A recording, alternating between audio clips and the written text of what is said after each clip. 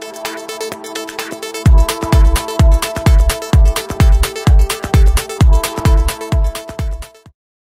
Prima si agita, provoca una perdita nella tubazione di gas metano dell'impianto dell'appartamento del Civico 58 di via Brindisi a San Pietro Vernotico al quarto piano del Palazzo Civino che ospita il centro di accoglienza per migranti gestito dal progetto Terra d'Asilo del sistema di protezione per richiedenti asilo e rifugiati, poi all'arrivo dei carabinieri intravede le loro divise e tenta di gettarsi dal balcone per suicidarsi. I militari riescono però a fermarlo prima di compiere il folle gesto. Momenti di paura e concitazione nella serata di ieri ieri, giovedì 6 agosto 2015, a San Pietro Vernotico, quando il giovane, un minore senegalese rifugiato politico, intorno alle 20.30 ha cominciato a dare in escandescenza. Sul posto, avvisati dai residenti della zona, due carabinieri della stazione di Tuturano, che hanno raggiunto l'appartamento del giovane in evidente stato di agitazione che dopo aver danneggiato la tubatura del gas alla vista dei carabinieri si è lanciato contro il balcone per buttarsi di sotto. I carabinieri, capendo sin da subito le intenzioni del giovane, lo hanno fermato sul posto anche i sanitari del 118 di San Pietro Vernotico, i vigili urbani e i vigili del fuoco. Dopo aver bloccato il ragazzo continuava a urlare di vincolarsi per fuggire, ma i paramedici gli hanno somministrato un anestetico con qualche difficoltà